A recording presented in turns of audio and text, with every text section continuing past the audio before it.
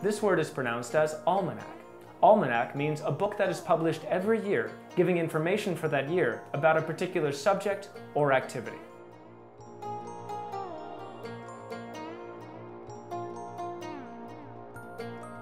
For more words and meanings, click and subscribe to Word World.